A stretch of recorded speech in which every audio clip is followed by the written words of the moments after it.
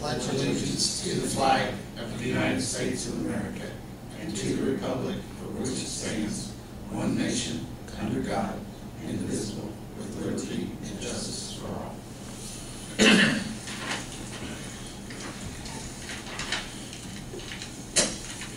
Today is uh, April sixteenth, two thousand thirteen, time is six P M. This is a regular meeting of the Greensburg Water Board. Have a roll call, Donna. Chuck, Here. Tony, Here. Frank, Here. Iris, Here. Robin, Here. Uh, the minutes for last month's meeting were distributed in your packet. Any co- objections or corrections to the minutes distributed? If not, they will be accept, approved. Uh, First order of business, H J Umbaugh rate study. Rick, you covering that? Uh, just take a little, it's that time of year again, or that time again, I should say, last, um, rate study you did was three years ago, and at that time it was uh, recommended fifteen percent. Um, I think it was five percent each, each year, um, and I think that just took effect this last, was the last May, the last increase. So we're just trying to stay ahead of the ball game and, and, you know, everything might be fun, but we wanna have H J Umbaugh take a look at our finances and see how we stand as far as our structure. Uh, the price on that, I believe, is sixty-five hundred a piece. I think it's on the second. Yeah, second, exhibit A, second to the last page.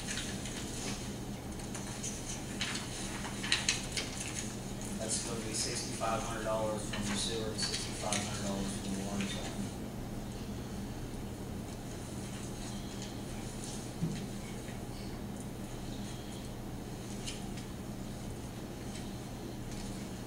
Very good. Do we need a motion on that, Chris? Um, I don't believe you do because it's retaining professional services, but if you feel better, you can always take one. I'll make that motion. We proceed. Second. Motion's been made and seconded. Have roll call. Chuck, Yes. Tony, Yes. Frank, Yeah. Iris. Yes. Robin, Yes. So approved. What else you got for us, Rick? I, I do not have anything else. I can give you some, what's been going on the last month with the water plant, if you'd like me to. Sure. Prolong this meeting. Well, we finished up the filter beds, uh, last week, actually last Thursday, all eight of them was done. Uh, they all passed their team test, so they're in service, no problems. Um, come in yesterday morning and the rate plant two was locked up, which is never good. So I had my maintenance man, we drained it just to make sure it wasn't down in the clarifier that was. It, there's nothing there, there's worm gears, and it's a big mechanism on top of the rate unit itself. Uh, we tore into it this morning and, and we think we got it figured out. It's, it's on the mechanism we can actually fix ourselves. If it gets down on top of the rate motor, the building that is over, uh, plant two rate clarifier, we're probably gonna have to take it off, pull it apart and get a crane and pull this all apart. Yeah, it's gonna be very costly. Um, like I say, we think we got it figured out. It's in the, the, uh, VF, we call it VFD, it's actually my hand, it's like the adjustments, so. We're gonna get that replaced, get it put back together, and, um, go from there. Uh, my, you're gonna see us out working on hydrants, we've got about fifty Ludlow hydrants out there. This was part of my capital improvement plan, so Chris Johnson and me talked to him last week, and he's gonna order ten hydrants, so you're gonna see us out there the old Ludlow hydrants. Um, other than that, everything's been running, Very good. running good. Yeah, just to let you know about the filter beds, we were going to backwashing filter beds, it got to be a couple times a day. And now we're going four, five, six days, so I know initially that hundred and twenty some was hundred and twenty-five thousand dollars for all eight of them. I think so it boils down to, we're gonna pay for them pretty quick by electricity, not wasting water, so. Yeah, no leaks or anything in Rick? or We do have small leaks, we actually have just fixed a uh, leak on a raw, twenty-four inch raw water line up on four twenty-one, if anybody know, thought was the water company doing out here, we do have a line up through there now.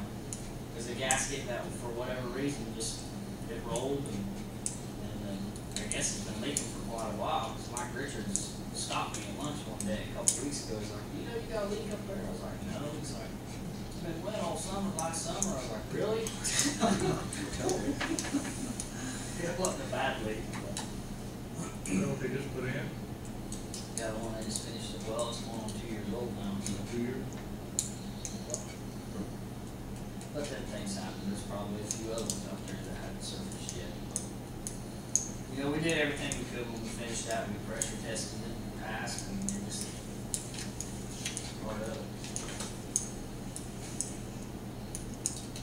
Very good. Other questions for Rick?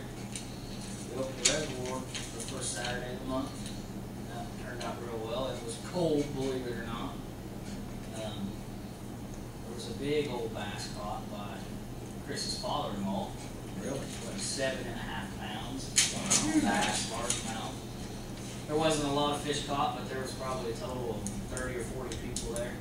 And it was actually a decent day, but when you get up on top of that hill with that wind coming across that water, we had a family just walk up there and turn around and leave. They didn't even let pull, heck, their line, they was gone. Mm-hmm. So you guys ought to come out the first Saturday of the month. and This, people really enjoy it, and, and again, this year's, this is the first time we did it, they're really taking care of it. I mean, I didn't find one piece of trash, so the people really, Good. really taking care of it, and they really appreciate what you guys are letting them do, so. Everybody seemed to be that when I was out there. I'm glad they were out there. We put a time limit on it, Rick, or?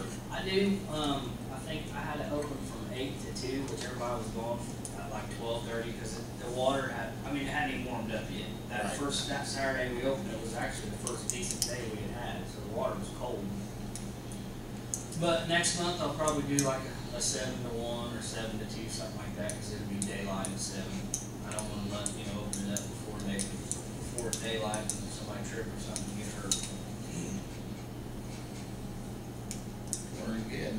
Were you getting volunteers to help you with that, or? No, I don't need any Chuck, I go up there and open it, and I stay there the whole time, but in case somebody would happen to need something, but just, uh, nothing to really, I haven't had to do anything, you know. Maybe every once in a while, I have, you know, somebody that is not a real good walker might call me and say, hey, can you go get me, I need to use the bathroom, so.